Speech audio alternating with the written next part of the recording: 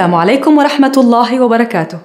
أسعد الله أوقاتكم مشاهدينا الكرام وأهلا وسهلا بكم إلى مختاراتنا من الصحافة لهذا اليوم.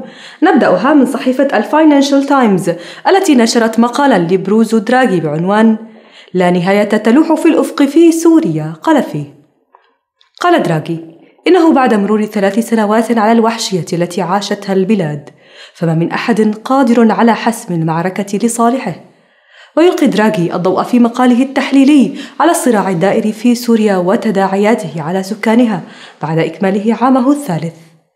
ويلتقي دراغي بمواطن سوري يدعى عبد الرزاق وكان يعمل مدرسا في مجال التربية الرياضية في مدرسة ثانوية في دير الزور. وأضحى عبد الرزاق قائدا محنكا تحت إمرته 160 رجلا مدججون بالبنادق والأسلحة المضادة للطائرات. وأكد حمود الذي يعيش حاليا في جنوب شرق تركيا إنه في السنتين الأخيرتين سيطرت المعارضة على شمال البلاد واليوم لا وجود للنظام السوري من الحدود العراقية إلى دير الزور. ويقول كاتب المقال إن العديد من رجال حمود وأقربائه وجيرانه قتلوا خلال الثورة التي بدأت منذ ثلاث سنوات. لكن حمود يقول أنجزنا العديد من الانتصارات فكلما نخسر محاربا واحدا ينضم إلينا العشرات.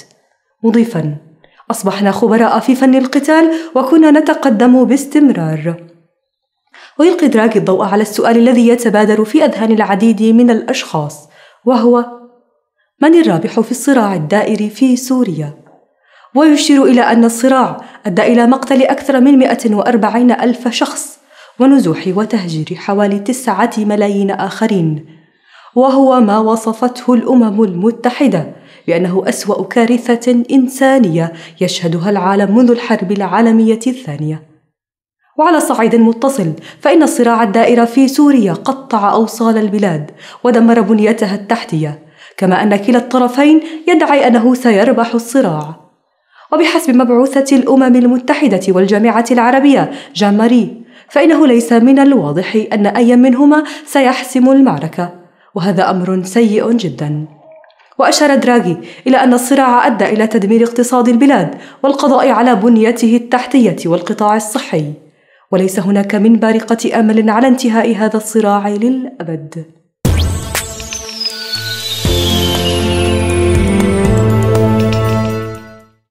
ننتقل الآن إلى صحيفة هآرتس الإسرائيلية التي نشرت مقالا لعاموس هرئيل بعنوان.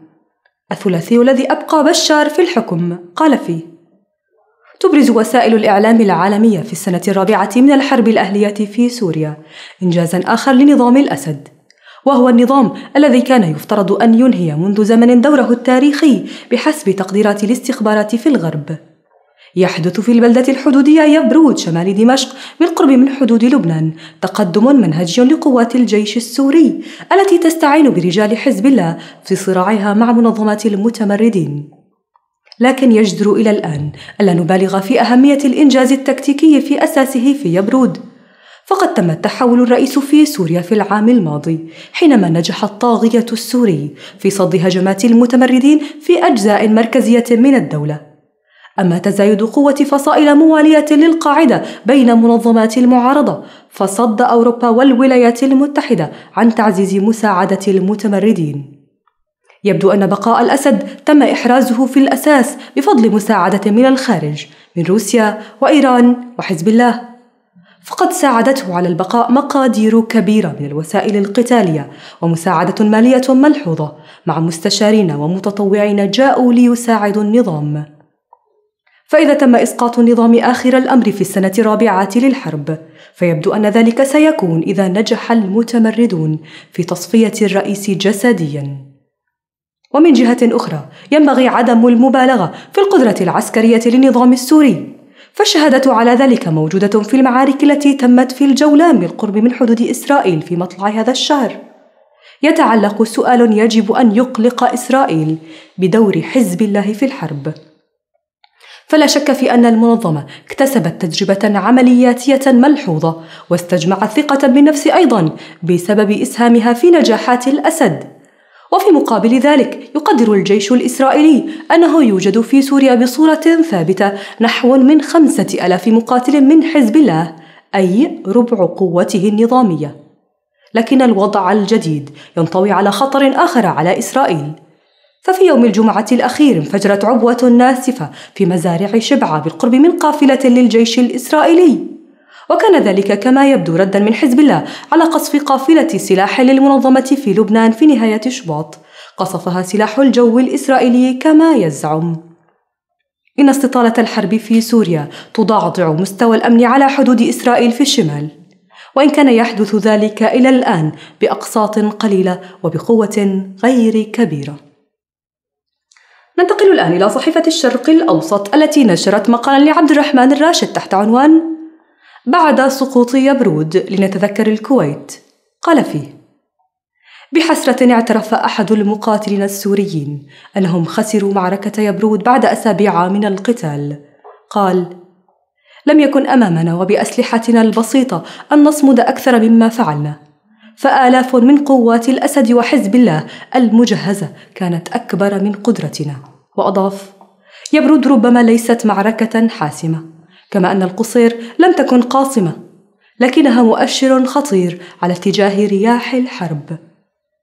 لقد أشغلت داعش قوات الجيش الحر المعارض وجرتها إلى معارك جانبية في حين وحد الإيرانيون القوى التي تحت إدارتهم للزحف على المدن واحدة بعد أخرى.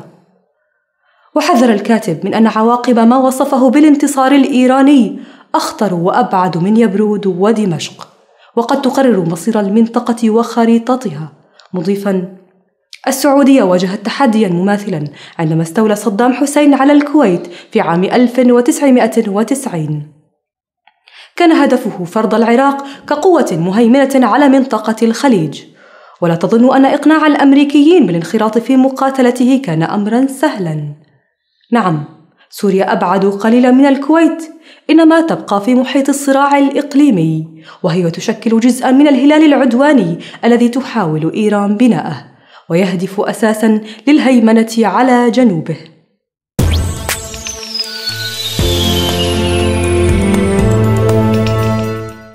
حديث الصحافة مستمر معكم وننتقل الآن إلى صحيفة الشروق الجزائرية التي نشرت مقالا لصالح عوض تحت عنوان هل انتهى ربيع العرب؟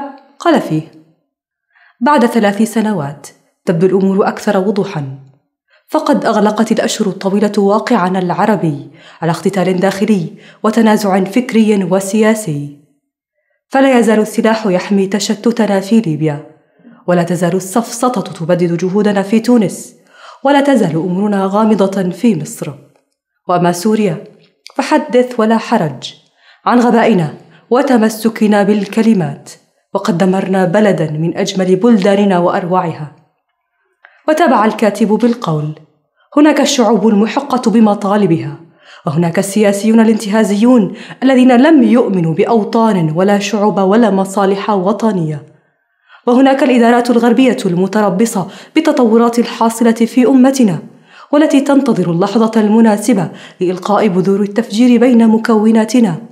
وهناك الحركة الماسونية التي تلتقط رجالة ونساء في مفاصل المجتمع وتمكن لهم في صناعة الرأي العام والموقف الخاص.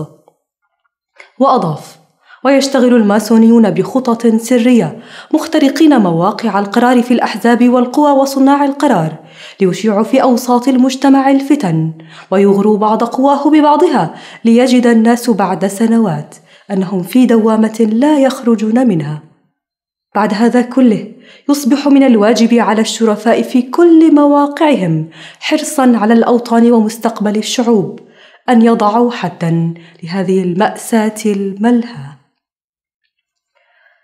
أما صحيفة الرأي فقد نشرت مقالا لصالح القلاب بعنوان لماذا يفعل بوتين هذا؟ قال فيه ربما أن من حق فلاديمير بوتين أن يلعب في ساحته كما يشاء وأن يعرض منطقته للمفاجآت وعاديات الزمن وأن يدفع أوروبا كلها إلى حرب ساخنة. لكن ليس من حق هذا ستالين الصغير أن يثبت وجوده على رقعة لعبة الشطرنج الدولية وأن يحاول استعادة ولو بعض أمجاد الاتحاد السوفيتي الغابر من خلال ذبح الشعب السوري.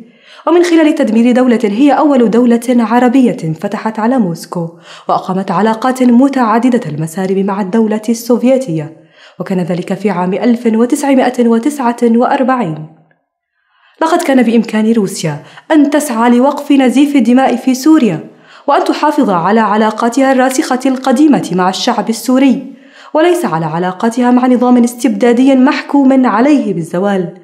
لكنها في حقيقة الأمر. لم تحاول حتى مجرد المحاولة أن تفعل هذا. ولكنها بادرت إلى أن تكون خصما بدل أن تكون وسيطا وحكما. فرمت بكل ثقلها العسكري والسياسي والمالي إلى جانب النظام. هل لعبة الأمم الجديدة هذه تقتضي أن يجعل فلاديمير بوتين من جماجم السوريين وعظام أطفالهم ودمائهم مداميك لإمبريالية جديدة؟ في زمن غروب الإمبرياليات وزوالها ورحيلها.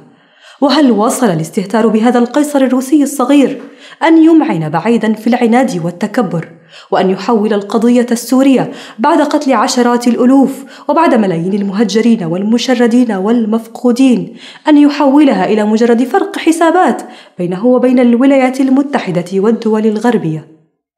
الآن معظم أهل هذه المنطقة التي ستبقى مجالا حيويا واستراتيجيا لروسيا ينظرون إلى فلاديمير بوتين على أنه هو القاتل وليس هذا النظام السوري ورموزه. وأنه من أجل المزيد من سفك دماء أبناء هذا البلد العربي بقي يعطل مجلس الأمن ويمنعه من القيام بأدنى واجباته. وبقي يستخدم جماجم الأطفال السوريين ككرات في ملعب تصفية الحسابات النهائية مع الولايات المتحدة ومع الغرب. إن هذا البلد روسيا قد حوله بوتين بمغامراته وبنزعته الستالينية إلى بلد عدو للعرب كلهم وحوله إلى إمبريالية جديدة لا تهمها إلا مصالحها ولذلك فإننا نجد أن هناك صمتا مريبا من قبل المعارضة الروسية على كل هذا الذي يفعله الرئيس الروسي في سوريا وكل هذا الذي يفعله في أوروبا. وهنا ومرة أخرى ألا يشبه هذا كله ما كان فعله أدولف هتلر عندما دفع العالم بتصرفاته الطائشة وباستهتاره بحدود الدول وجغرافيتها دفعه إلى محرقة دولية. ذهب ضحيتها عشرات الملايين من البشر كلهم. كلهم من الناس الأبرياء الذين تحولوا إلى وقود لنزوات طائشة وتطلعات توسعية وتمددية خلف حدود الدول المجاورة والبعيدة.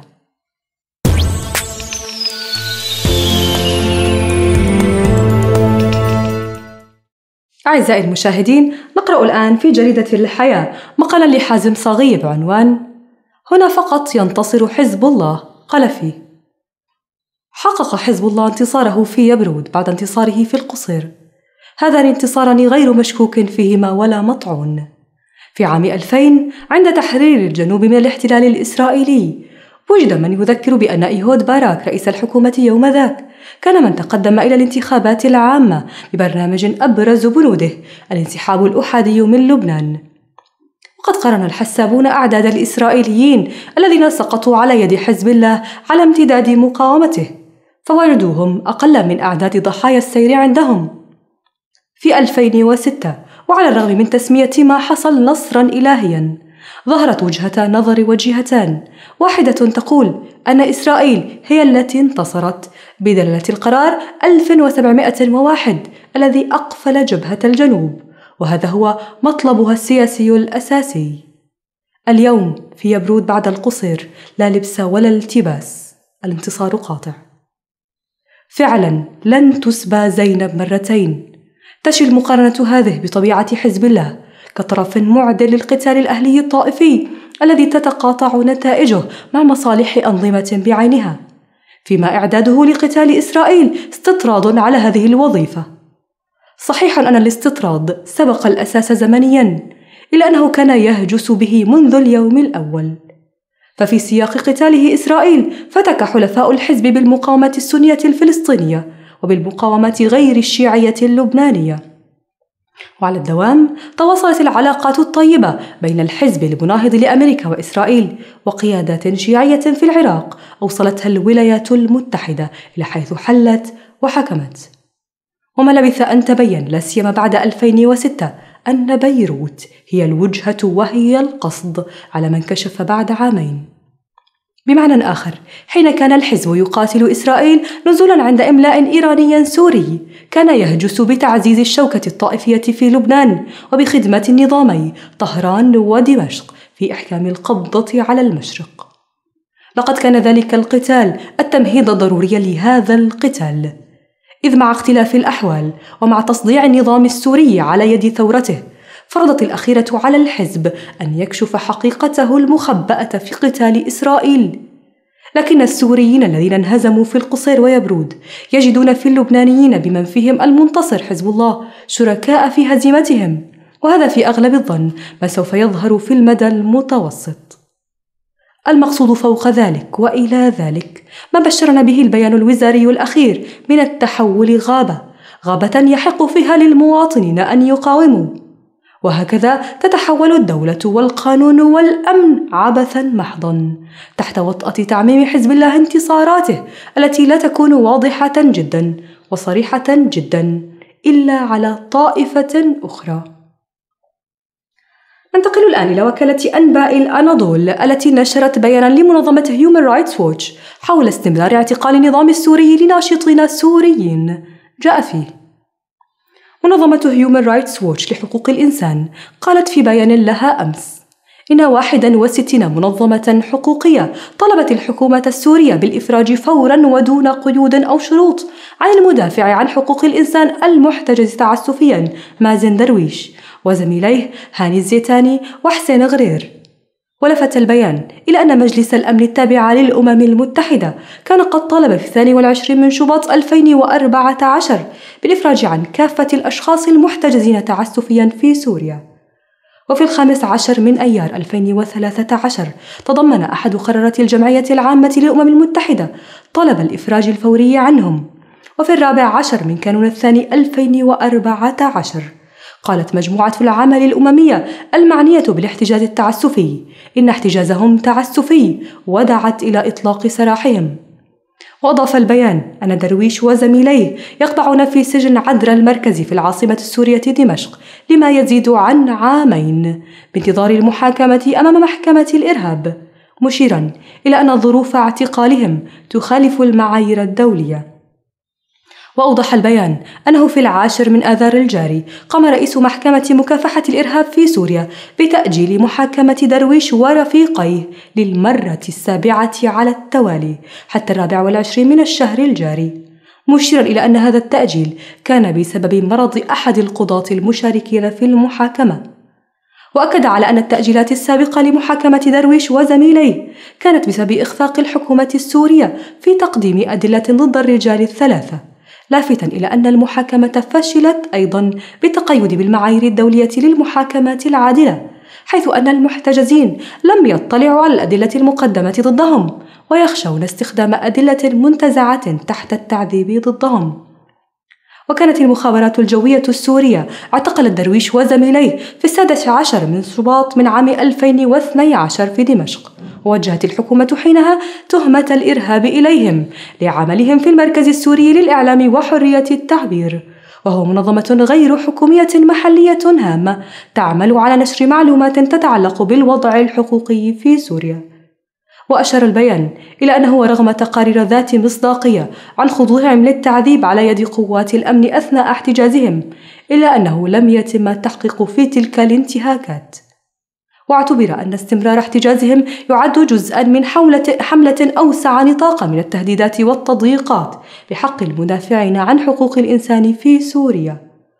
وطالبت المنظمة مجلس الأمن الدولي والدول الداعمة للحكومة السورية أن تضغط من أجل الإفراج الفوري ودون قيد أو شرط عن كافة المحتجزين تعسفيا في الوقت الحالي.